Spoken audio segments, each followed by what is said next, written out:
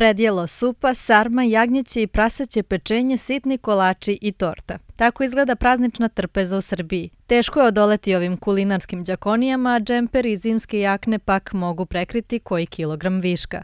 Jedem sve po redu i ne pazim apsolutno. Pa svega pomalo, dve, tri slave dnevno, mislim to je previše i onda na jednoj je supa, na drugoj predjelo. Kultura iz kući, sve redom da pazim. Za vreme slave prosečan Srbin unese 5000 kalorija, što je dva puta više od preporučenog unosa, tako da svake godine postavljamo sebi isto pitanje – kako pronaći pravu meru? Stručnjaci savjetuju da u toku dana pre odlaska na slavu unosimo manje hrane, a na samoj slavi. Da se ne preteruje. Smanjiti unos pitica, pituljica, hleba, meso može, sarma da ne bude tri, nego recimo jedna, da sipate samo jednom, ne više puta, i onda malo kad se odmorite može i par kolača. Dva, tri i to je to. U nedostatku samokontrole sledeći dan stiže na skajanje. Često ljudi isto greše u tome, prejedaju se i onda sutradan recimo se izglađuju, ne jedu ništa jer se kaju.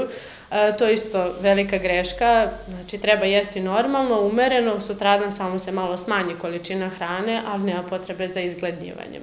Istina je da je bogatoj prazničnoj trpezi teško odoleti, ali ključ dobre linije jeste u uživanju u hrani i piću u manjim količinama bez mnogo preterivanja.